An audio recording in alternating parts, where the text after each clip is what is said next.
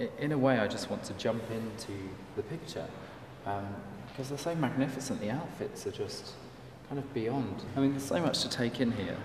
Um, you know, you've got the, the two women with all these, all the same things that have happened to them throughout their lives, and someone wanted to celebrate this, so um, they put them in the finest, beautiful clothes. I mean, we don't know if the clothes are actually like that or they were the artist's interpretation. You know, and, and as for the eyes, they are different colours, but they could be sisters, and maybe they're just two women that just happen to know each other.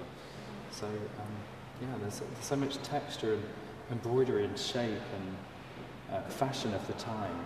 You know, things like this inspire me, and kind of probably next week I'll have an outfit like this on, and you know, I get my my greatest ideas come from art.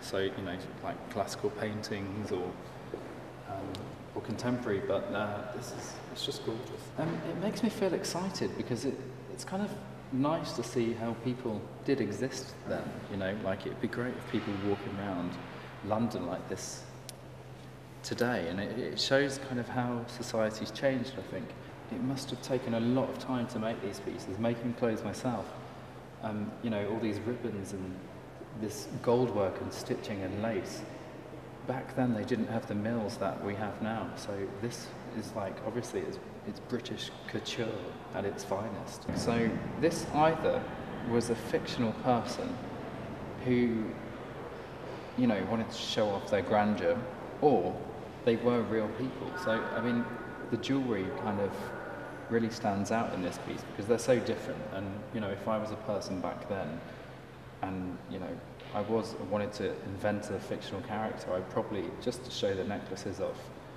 um, to say that I had them, I would probably um, get my portrait painted twice in the same kind of frame, showing the jewellery. So that's just another idea, but who knows? They may have been real.